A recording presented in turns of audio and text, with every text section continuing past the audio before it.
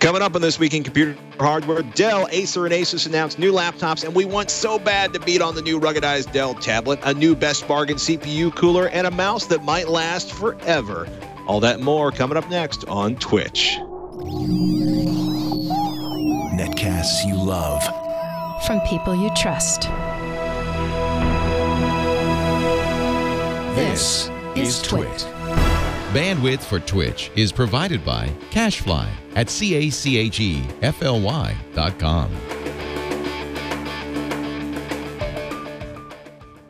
This is TWiCH, This Week in Computer Hardware, episode 430, recorded August 31st, 2017. In order of magnitude better. This episode of This Week in Computer Hardware is brought to you by TrackR, a coin sized tracking device that pairs with your smartphone and keeps you from losing your most valued possessions. Visit thetrackr.com right now and enter promo code TWITCH to save 20% off any order. Welcome to TWiCH, This Week in Computer Hardware, TWiCH weekly show that aims to bring you the most useful, most informative, most engaging, most delightful, and yes, ladies and gentlemen, most useful news about PC hardware, Mac hardware, mobile, internet, consoles, and the Internet of Stuff. This is a family show, so we can't call it the Internet of Other Things. Joining me now, Mr. Family himself, Ryan Shrout. How are you, sir? Uh, I'm doing great, man. Thanks for thanks for finding a way, connecting in, and finding a way to be on the show this week with us. well, you know, someone has to set an example to you and your total lack of connectivity when traveling. Uh, my video is probably true. a little fuzzy. I'm down at uh, San Diego at ToorCon, so if the door gets kicked open, it's because they think I'm a hacker. Um, exciting news, right? We talked about the eighth generation core Intel processors coming out. We talked about them not exactly being eighth generation if you're in terms of architecture. That Intel says if you make the processors, you can name them whatever delete expletive generation they want to because they are making the processors and they claim they're 40% faster, which, if you're using multi threaded devices, should be the truth. Not that we can test it until they ship. So, bringing everybody up to speed on 8 core processors, let's talk about some of the announcements. One of our favorites, quad core XPS 13, uh, which is going to be available with all of the other 8th generation devices in September of this year. And essentially, it's the ever so delightful quad core XPS, thir- or so the XPS 13 that I've been carrying for the last year, but with a quad core 8th gen Kaby Lake processor, which means uh, things I like to do. Um, like running uh, video rendering tools will suddenly be significantly faster because the number of threads and cores available to them on the processor will be doubled. I like this. Um, I'm also very curious to see what the battery life impact is like, uh, although we are assured battery life will not go down. Yeah, they if you go to their website, they still uh, quote the same 22 hours of battery life for the 1080p model and 12 hours for the QHD Plus model. Which, 1st mm-hmm. of all. I didn't realize there was that huge of a gap between the two different models of XPS 13. That's that's like a dramatic difference. Even if we know we're never actually going to see 22 mm-hmm. hours out of either one of them, the relative difference between them is is substantial. Um, those 12, 22 and 12 numbers match the performance listed of the dual core Kaby Lake uh, seventh gen Dell XPS 13 machines. So, in theory, based on Dell's metrics, there would be no degradation in performance through or degradation in battery life when doing the normal battery life tests, right? If you're going to utilize those threads right. uh, and cores more heavily, you know, depending on your workload, you may see a decrease there. But uh, doesn't look like there's any other changes. Like this is very simply a a processor swap. The, the design is the same. Looks like the battery is the same. Screen resolution options are the same. Um, so so nothing, no big changes there. Although, you know, I, I, what I'm really curious about is what the pricing may do with this, right? So Intel is, mm-hmm. you know, they don't they they they show pricing on their ARK website, which is kind of their specification website, and and the right. pricing on these solutions is only like twenty dollars more than the dual core parts. Um, that being said, the the way Intel is working with OEMs like Dell, HP, Lenovo, these giant these giant entities, what they're probably trying to do is get some of their flagship products out, like the XPS 13, XPS 15 from Dell, the mm-hmm. Spectre from HP, the Lenovo X1 series. Um, they want to get those quad core parts in there like quickly and affordably. So it wouldn't surprise me if you know you kind of only see these quad core derivatives and these kind of flagship components, and you don't like we're not going to see a universal replacement of Kaby Lake dual core Core i7 Core i5s with quad core Kaby Lake refresh Core i7s and Core i5s. That would be my guess, at least. Um, yeah, I mean, it doesn't make mis- it, it doesn't make sense in a lot of the price performance categories, uh, and most of the people, especially at the low end, uh, aren't going to see a whole huge difference. I think in their everyday use. Um, not to drift off, but there. Uh, another one that came out uh, uh, from Dell this week. because we have some other. Uh, you know, we'll talk about this one in a minute or two. We should talk about IFA 2017. Acer announced the passively cooled Switch 7 Black Edition. Mm-hmm. And so this is this also uses the quad core variants. Um, the it's not it's it's less a clamshell notebook and more like a Surface uh, design where it's got a kickstand and it's kind of got the uh, fold up keyboard um, behind it. The kickstand's a little bit more interesting, and then it has like a hands free uh, uh, engage method where you just kind of you push down on the bottom of the of the tablet and it, it pops open the kickstand behind it. So in theory, you could open it up with one hand. Uh, it's a little bit less cumbersome. The fingerprint reader is actually in the bezel of the tablet itself. So you don't have mm-hmm. like you still get access to it if you don't have the keyboard attached, which is kind of nice. And apparently they have a um, capability where you if you if the machine is off and you do your fingerprint over the fingerprint sensor on the bezel, it will both turn on the machine and unlock it when it boots up. Like it is registering the fingerprint uh, acknowledgement and verification even before you get to the Windows login screen, which is just a nice thing, right? It just speeds things up a little bit, right. um, and it, and it kind of gets the process moving a, a little bit easier. Uh, but the passive cooling on this is is even kind of it almost seems not possible to me, being that you have a 15 watt CPU and this even has a 20 watt uh, discrete GPU, the MX150, GeForce MX150, which is a very low end discrete GPU, you know, better than integrated graphics, obviously. Um, mm-hmm. But not by a huge amount, right? So this, I think it's got 384 CUDA cores, and I don't know what the clock speeds exactly are, but it's using a dual heat pipe system, which they brand as like liquid cool or what do they call it, uh, liquid loop or something like that. It don't don't feel like it's anything uh, technologically more advanced than we've seen in the past. It is it is heat pipes. It's larger heat pipes and two of them kind of connecting through. Uh, but if it can, the, the question for me on this is: Is there, say, you compare it to that Dell XPS 13 with the same quad core 15 watt parts we just talked about?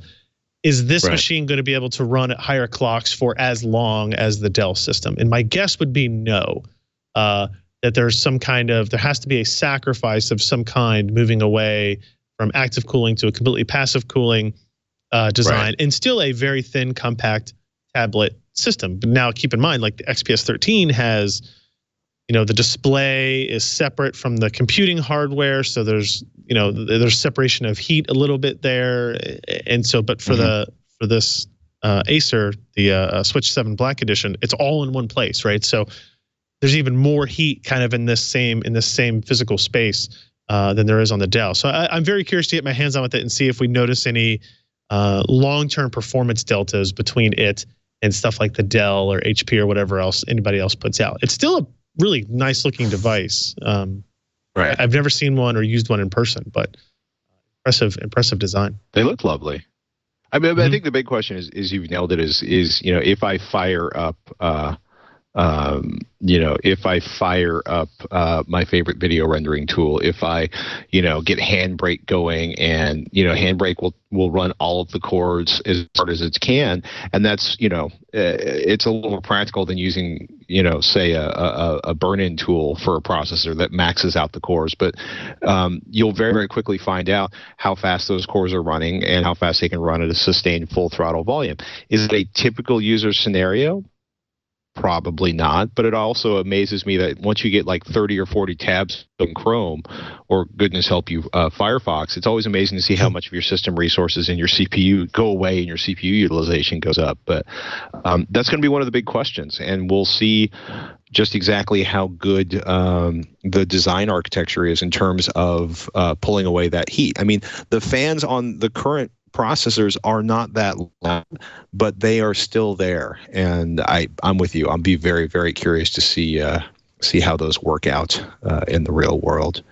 Another uh, product I really want to test this. Uh, the same time I saw, I had to see a preview of the new XPS 13, which looks exactly like an XPS 13, uh, except it's got more cores. Um, the uh, uh, Latitude 12 rugged tab being shown off, and reactions to this online to me have been really, really amusing. Uh, I got a link to a Verge article. Dell's new rugged tablet is a kinky giant that runs Windows 7. I love it. Uh, uh, Jason Kastrenakes wrote that one up. One of the other reviews online was like, "This is big and slow and stupid, and I hate it." And it's it's an interesting thing where you've got a purpose-built device uh, that is built a very specific way for a lot of reasons. And obviously, when you look at that thing, it is a big, giant, ruggedized computer. Yep. Um, you know, it, they call it the Rugged Extreme tablet. It's an 11.6 inch 1080p display. Uh, they can run sixth or seventh generation Intel processors. They're not going to be putting eighth gen processors in here. 16 gigs of RAM max, uh, up to a terabyte of solid state storage, uh, and it can do up to two separate 34 watt hour batteries you know it's running windows 7 uh, you know in part because so many of the places that implement devices like these um, you know need the option to be able to compatible with all the existing uh, devices that are out there all the existing operating system or software out there. Um, and it's fun to look at this because you know when people talk about moving to like oh we've got to move to a new laptop and the expensive pain uh, in an office environment. But if you have like you know 300 delivery vans or 50 police cars or a bunch of fire trucks or some combination of all of those things um, then you have to think about like if i change form factors do i have to buy new mounts for everything do i have to rewire yep. uh, everything do i have to so you know looking at stuff like this um, you know keeping things compatible over time um, it's like 2.82 pounds, which sounds outrageous, uh, which is funny to say. Um, you know, for a tablet, it sounds outrageous. Um, um, but uh, you know, that's like three quarters of a pound lighter than the previous one.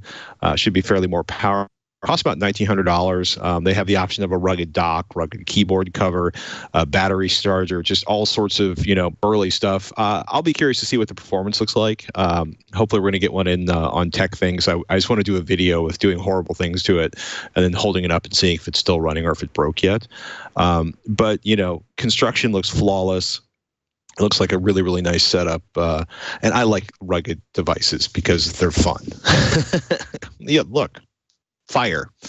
Um, That's true. You know, I, I, I attended a Dell Rugged uh, event in Austin last year where we were, you know, not just allowed to, but asked to like take them and throw them. And we were on jet skis on Lake Travis with them and uh, throwing them off the edge of the boat onto the onto the shore on the rocky shore. Uh, and it's impressive what they can do. I took I took one to uh, on a beach vacation where I let Emmeline like basically bury it in the sand and dig and play around with it and then I was still able to take it back upstairs and turn it on and use it. It's it's a very they're very unique devices. Um, I have we actually have a Panasonic Toughbook here in the office too that we're kind of messing around with to do to do a story around, uh, and it is it's not for general consumers. And if general consumers see it, you're right. They're right. they're uh, you know their the reactions to it are going to be predictably bad. Um, like the idea I, I that oh, they have one that runs Windows 7 super important for a lot of for a lot of audiences. Right. Well, you know, it, I think it comes with Windows 10. You downgrade to Windows 7, but uh, you know, I think also some people are going to look at it and be like, "Yeah, that's going to go with my truck."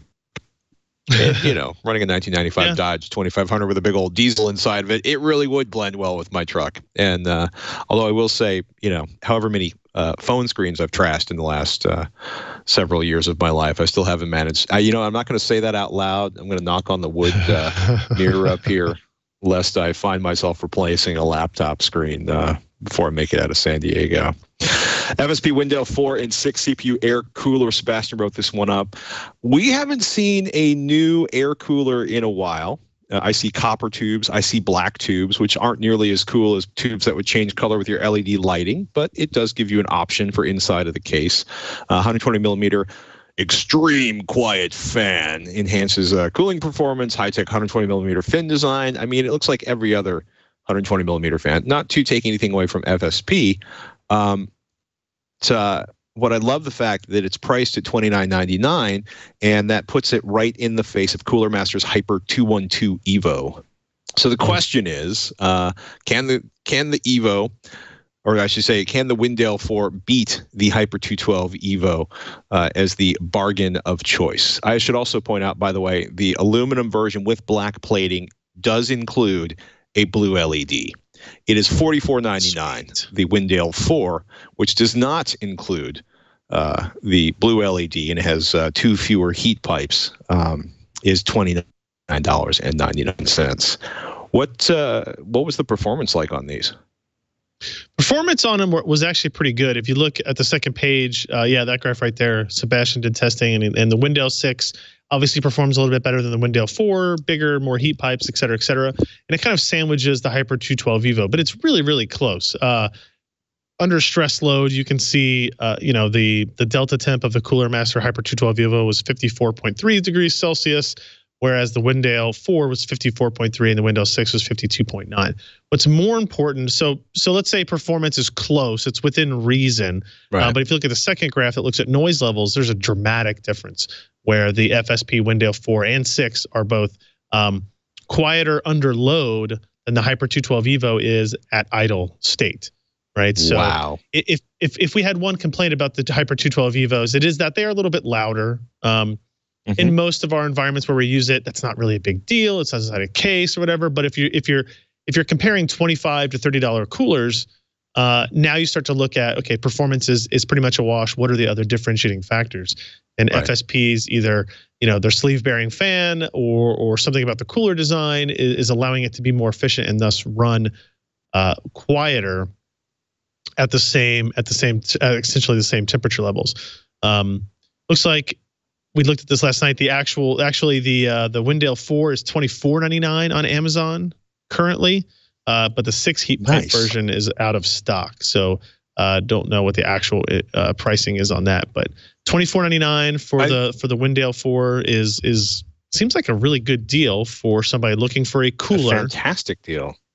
Yeah, I mean, I, I would have Evo was like twenty nine now. Yeah it's certainly you know there's certainly a, a, measurable difference between the Windale 4 and Windale 6 uh, in terms mm-hmm. of you know idle load uh, and stress uh, tests on a Core i7 7700K. It was interesting to me is that how tiny the deltas are. You're looking at like 1.4 degrees uh, under a full load, you know, degree and a half or so, uh, you know, at a normal load, um, you know, uh, it, less than two degrees, I think, in almost all deltas. Um, and that's, you know, it, it's interesting because, oh, wow. So those extra heat pipes uh, and the LED don't do a lot for cooling. Um, but I got to say, uh, not that 47.4 decibels is is really loud, um, but you're looking at, you know, eight, not almost nine degrees, or excuse me, nine decibels quieter for the FSP Windale 4. That's a huge delta um, in terms of, of audio levels. And for 25 bucks, I think mm-hmm. it makes it a fantastic deal, um, which is probably why it got a PC per gold award, ladies and gentlemen. Yay! More inexpensive heat sinks. That makes me happy. And hey, this episode of This Week in Computer Hardware is brought to you by TrackR. There's a ritual to looking for your keys. You check the obvious places the couch, the kitchen, the pockets. In my house, the kids did a thing once where they stuffed them under the dog bed. I think they didn't want me to go to work, but you get the idea. Things get lost for weird reasons, and you can spend your whole day running around the house. But we got a better idea for you the TrackR. Eight years ago, TrackR changed everything when they released their first tracking device. And now they've done it again with the new TrackR Pixel. It is really awesome. You never worry about losing your things again. TrackR Pixel is the lightest Bluetooth tracking device on the market. Just place the TrackR Pixel on whatever you tend to lose your keys, your wallets, your cat. Oh, to be able to find the cat. Think about it. It's small enough to fit on your smallest items without being a drag. And it's easy. When you misplace an item that has a TrackR pixel attached, use your smartphone and a 90 decibel alert will howl out to help you find it in seconds. It even has powerful LED lights so you can find your items in the dark. Lose your phone? This is awesome. Just press the button on your TrackR pixel. You can put one on your keyring, and your phone rings even if it's on silent. You can even locate your items if they're miles away because every TrackR user is part of the largest crowd locate network in the world. And as soon as somebody walks by your gear, you'll get an update about where it is. TrackR's 30 day money back guarantee is awesome. You truly have nothing to lose you should go to thetrackr.com and enter the promo code Twitch to save 20% off any order. That's T H E T R A C K R.com, promo code T W I C H Twitch for 20% off. Isn't it time you stop losing things? Oh my goodness. They're tiny. It's good stuff.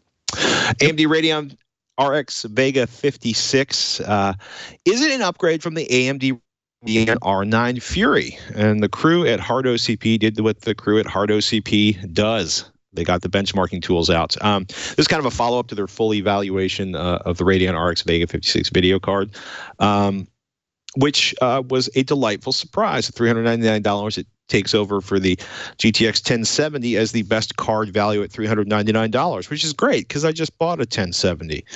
So it's good to know I could have waited and gotten more power not that I'm bitter, but uh, their question was taking a look at it like, you know, do you have a Radeon R9 Fury?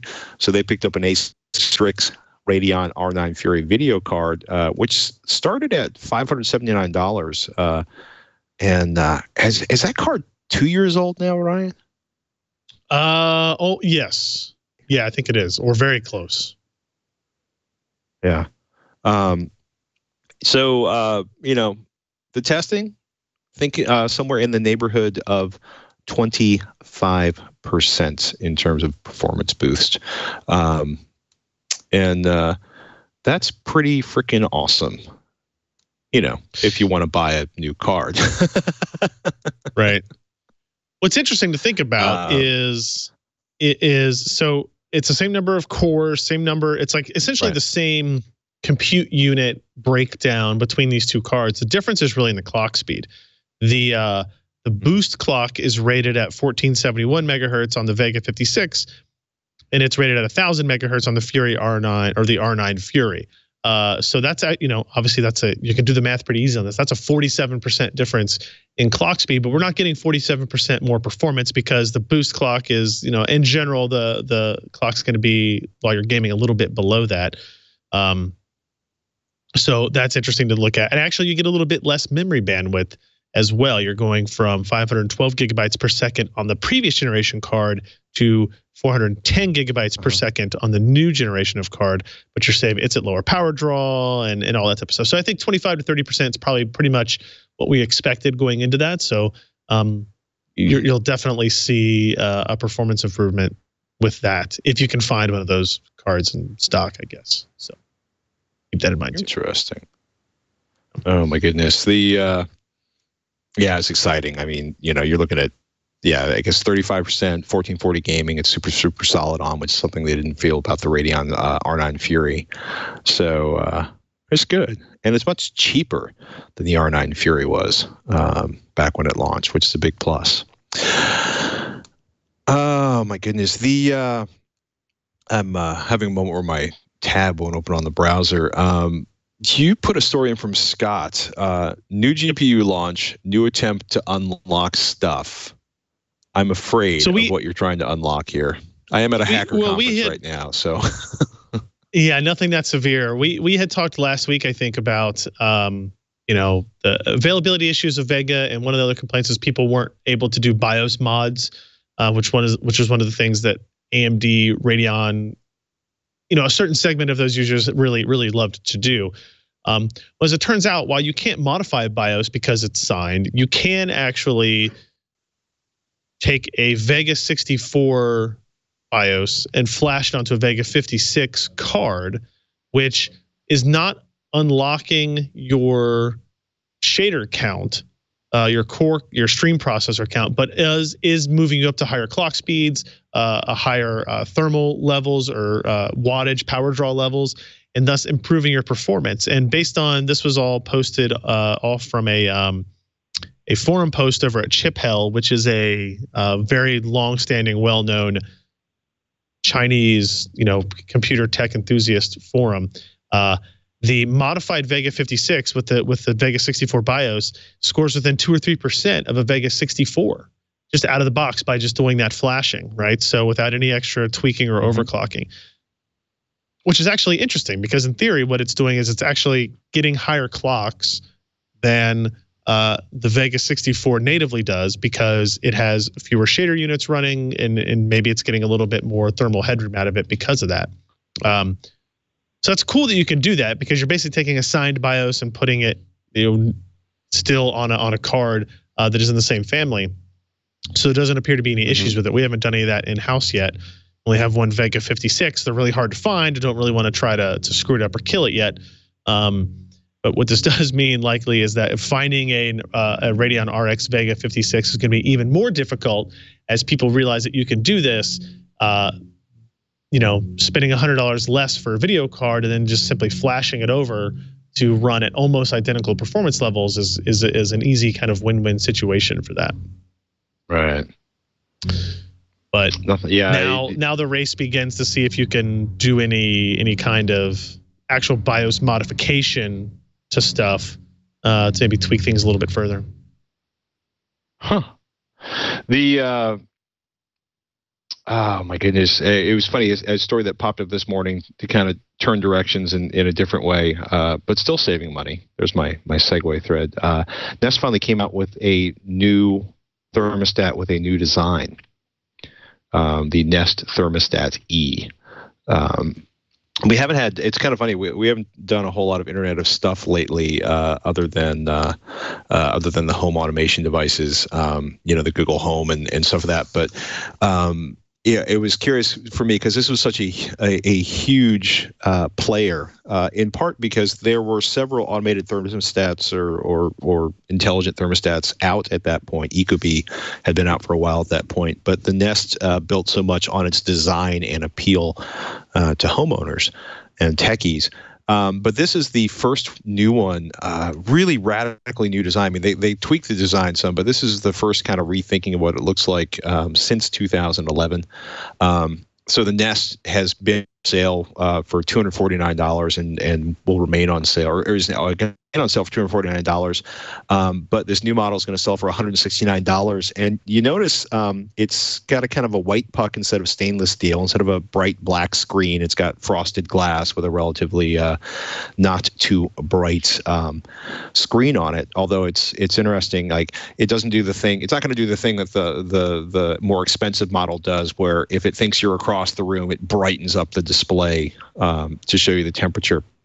But it's supposed to control something like 85% of the thermal systems in the house or you know hvac systems in home. Uh, the full nest thermostat still promises like 95% um, but the big deal here is is the price is going to be $169 I, I gotta say having been wandering around a bunch at, at Best Buys lately and looking at the displays, um, I think they had to finally cut the price because there are so many competitors out there uh, especially when I, I, look at some of the, the latest generation Ecobee stuff, where they seem to be doing a lot more for the money you're spending. Um, but it's kind of curious. I'm also curious to see how Nest does because you know one of the things we've read is that internally.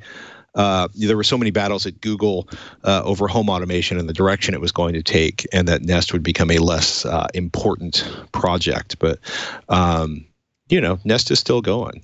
Um, I'm not sure what else to say, but uh, uh, as somebody who's been running a, a, Nest thermometer for probably five years, um, mm-hmm. the uh, same here.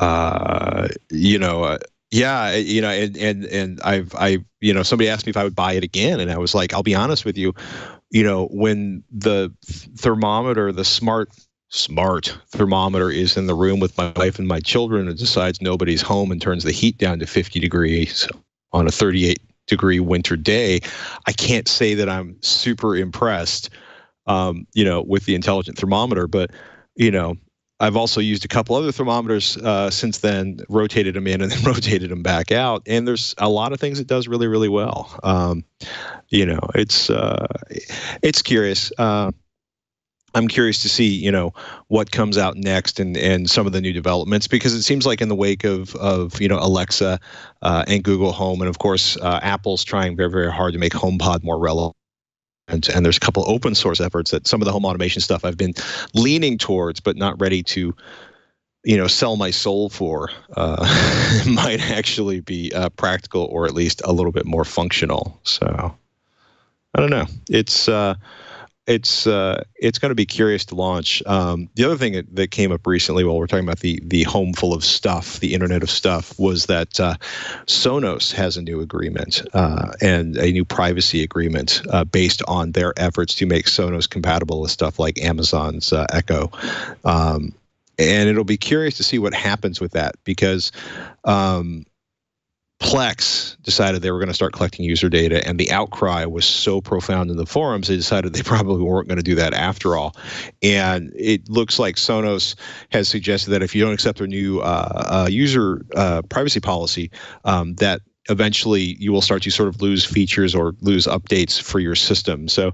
Uh, I've been, again, I've been uh, uh, traveling a little bit, and I have been on on top of that. But you know, it it it begs the question, you know, if your hardware, your expensive hardware in your house is relying on offsite services to do the thing it does, uh, and you suddenly have to give up more privacy than you want to, um, you know, what does that mean for you? And in most cases, it means you're SOL. Uh, you know, you have a choice between giving up that information to the company that probably wants to resell it, or at the very least aggregate it and use it, um, or giving up on that hardware. And it's something to think about, especially as you're looking at more expensive stuff, bringing it into your home or, or adding it to your home systems, is whether or not it's going to share or track information that you don't necessarily want shared or tracked. But something to think about. Um, you know, as you're looking at yeah. some of the more expensive purposes, purchases, because so much of this stuff is profoundly expensive. Like I would love to have automated window blinds, you know, but I'm also not going to spend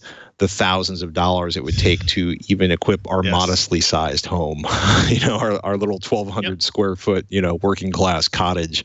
Um, you know, it's, it's, uh, I, I just wanted to lay that out there. It's something I've been thinking about a lot in the last week. And also, again, being at a hacker conference, realizing uh, once again that the Internet of Stuff just is one giant joyful attack vector uh, waiting to be exploited. So, sorry, didn't mean to get into the uh, the internet minute or the internet uh, the the home automation minute, but uh, I did. So I'm sorry.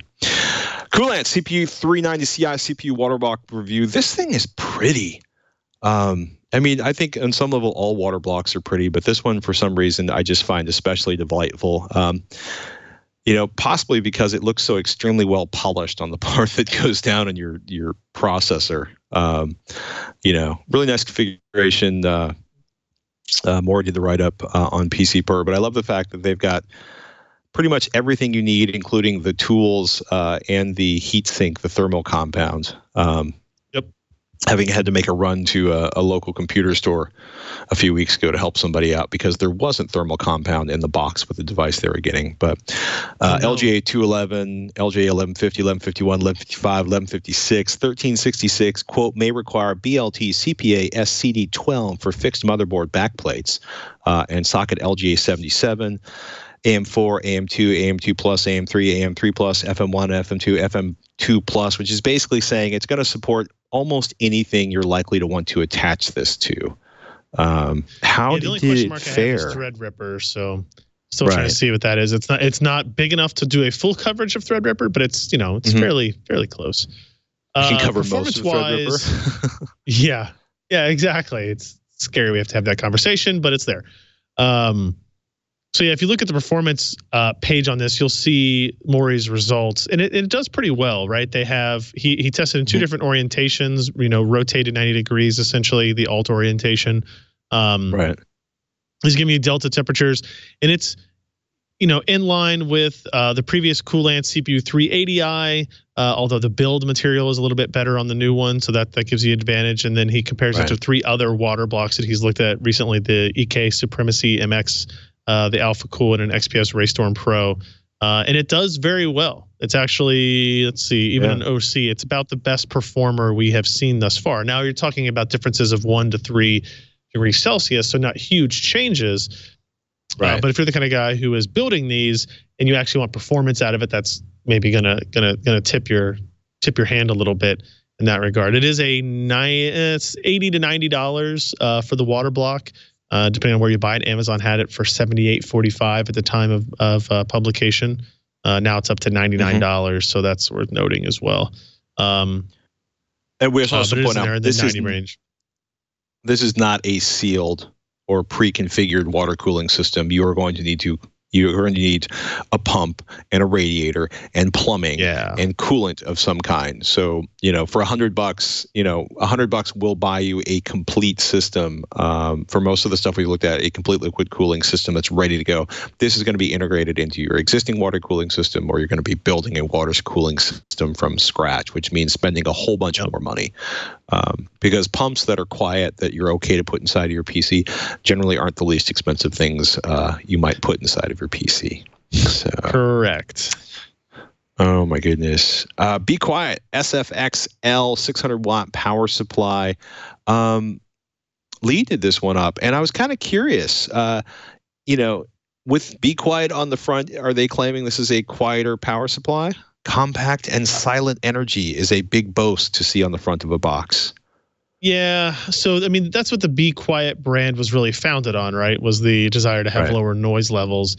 Um, they're, they're still um, like that, that's still a focus, but they're they're clearly branching out into just trying to create general purpose things. So this is an F right. SFXL, which is the small form factor, but a little bit longer uh, version of the form factor there. Um, I'm trying to look. So here we go to the noise temperature value. Uh, Lee does say that the 600 watt power supply starts out virtually silent stays very quiet throughout the mid power range at full load. With an elevated ambient temperature, the cooling fan did speed up and the noise became noticeable, but never really loud. So it's it, it is quiet, but it maybe is not. It's not silent, right? So um, that being said, it it performs admirably. It did uh, very well in his uh, energy and efficiency, DC load regulation, and AC ripple test. I think it got a gold award at the end of this. Um, no, silver award. But the only weakness really being that it had a a moderately uh, sized three year warranty. As I think many of the power supplies now are going five, seven, eight, ten year power supplies, all dependent. So, um, you know, everybody's little bit different on there. But this is this is a SFX, so it's meant for chassis that are specifically calling for an SFX or an SFXL power supply. Uh, they can be adapted to full size ATX chassis, but you're kind of shoehorning it in at that point. So unless you have a specific need for this, or you get one of these at a discounted price, um, that's that seems like a little bit of overkill because these are more expensive than you might expect. It's $120 for the 600 watt variant and $99 for the 500 watt variant. Um, you're paying for the compactness uh, uh, of the design, right? I mean, if you look at the back there, where all the it's a completely um, uh, uh it's a completely uh, non non attached cable. Why I don't know why I'm blanking on the term. Uh, modular. There you go. Completely modular power supply. but there's not a whole lot of room for any more connectors on that. So you get a sense of, of what the SFX design actually does those types of things. So, hmm. Yep. An option, but not a spectacular one. Silver award from PC Per, um, which is passing, but not impressive, which is kind of harsh to say out loud, but I think it's fair. Uh, G16 or G613 or G613 wireless keyboard, G603 wireless mouse. Um, the beginning of a parade of new peripheral devices. I think Logitech's ramping up for the holiday season early by getting a bunch of stuff out, especially for gamers uh, on the show floor, uh, on the yep. show floor, on into the stores and the channels. Um, the big thing about this is Logitech's Hero sensor, their high efficiency rating optical, and boy, that just sounds like a bit of a forced acronym there. Um, you know what they're going for is Logitech G900 performance. Uh, that was brought by the PMW 3366 sensor, but quote offers 10 times the power efficiency, allowing for incredibly long battery life.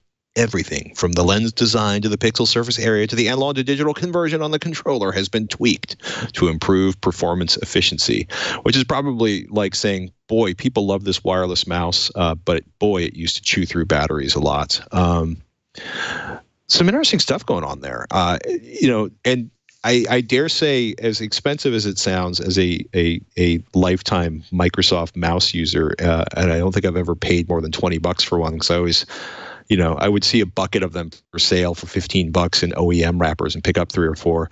Um, this is uh, you know this is costing 70 bucks it doesn't look like somebody was copying design cues from bad science fiction uh, and ignoring any or Right. all ergonometrics because so many gaming mice now they look like little spaceships which is great if you like to hold angular things with pointy edges um, and easy to break plastic bits um, not my jam but certainly an option there um, but they're claiming 18 months of battery life with gaming usage Yep. that's crazy So the the the mouse is claimed. So it has two modes. It has Uh-huh. a high mode and a low mode. So it's uh, low, lower, resp- high performance mode. I think, which is a one millisecond response time, and the low Right. uh, low performance mode, which is eight millisecond response time. So it's get it, they're rated at 18 months at the low response time setting. Uh, at the low performance, sorry, low performance setting. At the high performance, it's estimating four to six months. So there's a difference there, and it does run off standard AA batteries. It's not a like USB rechargeable device. Um, I think for the most part, I've been using this for just a couple of days now. I, I haven't noticed any issues running in the low performance mode, but for people who are hardcore gamers, they're going to run in the high performance mode. I still Sure. think four to six months of battery life off of a pair of AA batteries is actually pretty impressive. Uh, and actually, you can run it That off just a single reasonable. AA battery if you want to adjust for weight Mhm. or whatever. Uh, you're just going to get half half the rated battery life. Um, And I love the, the fact that you pointed out. Oh, sorry. no, go ahead. Oh, I'll say I love the fact you know the thing you point out right is with your G900 you typically get 24 to 36 hours of gaming Yeah. versus you know in high mode or the battery sucking down a lot mode for the G603 you're looking at 500 hours of that's, Right. that's like well over an order of magnitude in improvements that's that's huge Yep. um, yeah it, it, it's it's pretty impressive um and it also like the mouse has other features like it can be connected to both a uh Lightspeed device and a bluetooth device and you can switch between systems with the button on the bottom of the mouse that way. Um I, I think the the design it's not an ambidextrous design. It's it's definitely one meant for right-handed users but uh, pretty simplistic uh very IntelliMouse-ish by the look and feel of it um, and then the other thing they announced was the G13 keyboard, which is a wireless mechanical gaming keyboard. Um, Right. So this is also battery powered. It is rated at 18 months of battery life on two AA batteries. There's no high performance or low performance modes. This particular one. The caveat is, is they had to get they got rid of RGB or LED backlight. So there is no LED light on the backlight of these keys. The only lights that exist are your caps lock Mhm. key, uh, a battery indicator, and the lights under the buttons let you switch between um, the wireless and the Bluetooth uh, connection type. Now it uses Romer G switches, so it's not a cherry switch. So it's the same thing that's in like the G810 or the G910 keyboards, right which I've been they're- using for they're- a while. I actually like them. they're not bad switches. I mean, at this point, there are you know, there's Cherry, there's two or three sort of third-party alternatives, and there's a whole bunch of keyboard manufacturers that have decided to make their own switches, and most of the switches are probably made in the same factories as the third-party manufacturers, and seem to be performing really, really well over time. Because between the two of us, I think we've got. You know, I've I've got hundreds of hours of typing on one of Corsair's keyboards. Um, there's lots of options out there uh, Yeah. that that seem to be holding up as well as the Cherry keyboards. I should point out, I will be reviewing a mechanical switch that claims to be silent next week. I just want to lay that out there. Interesting. Interesting. Uh, Yeah. this this keyboard Uh, also has the ability. So at the top of it, there's a button to switch between a Bluetooth and a uh, the the wireless. So you, if you want to connect this to your PC through Bluetooth, you can do that. Mhm. Although it's not recommended for for gaming purposes, just because of the added input latency that that that drives. What they what they pitch it for is actually uh, you attach it to your computer through the Lightspeed wireless you know technology through the dongle that they include in the in the in the box, and then you connect it to Bluetooth to your tablet or your phone, and they actually ship a like a little plastic dock that your phone stands up in on your desk, right? Or your Uh-huh. tablet stands up in on your desk. It's just freestanding. It's not attached to the keyboard or anything like that.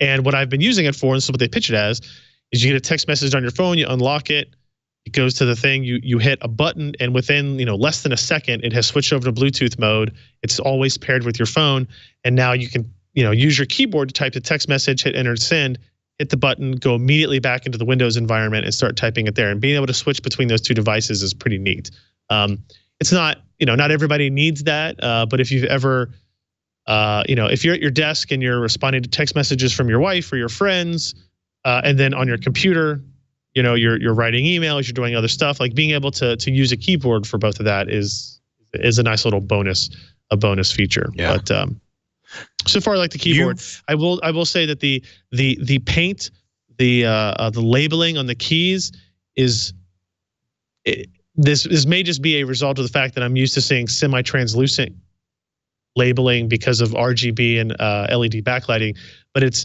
there's a strong contrast. This is a very bright white paint on the keys. I think in their in their mind to make up for the lack of backlighting, right? So, Hmm. um, trying to make it as visible as possible in dimly lit environments if you happen to need that. But The option is there, stuff. ladies and gentlemen. Yeah. Full review of that coming up uh, in a couple of weeks, I would imagine. Or yeah, or yeah, hopefully less, but yes, coming up soon. all right, ladies and gentlemen, if uh, you are looking for more of Mr. Ryan Shrout, the best place to find his work.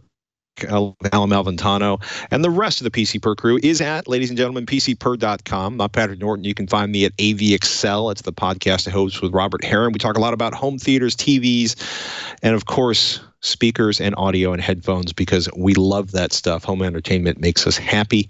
And you can find me, of course, with Shannon hosting TekThing each and every week at tekthing.com. We want to thank you for joining us on the adventure that is This Week in Computer Hardware. If you'd like more of our older shows or you're subscribing for the first time, please go to twit.tv slash twich.